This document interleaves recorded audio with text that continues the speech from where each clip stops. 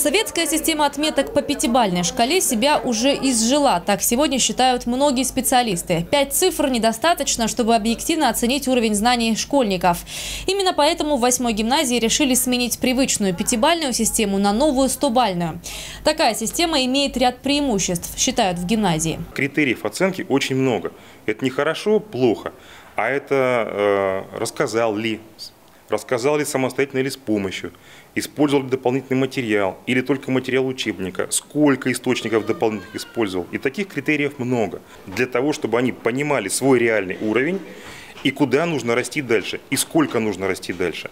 При этом перевести 100-бальную систему э, в 4-бальную для того, чтобы выставить оценки в аттестат, никакой проблемы не составляет, потому что ну, шкалы есть. Например, там 180 – это вот пятерка, там 80-60 – это четверка. Оценивать знания детей по 100-бальной шкале в 8 гимназии будут уже с начала учебного года. Такая система должна понравиться школьникам, ведь, во-первых, она близка к оценке ЕГЭ.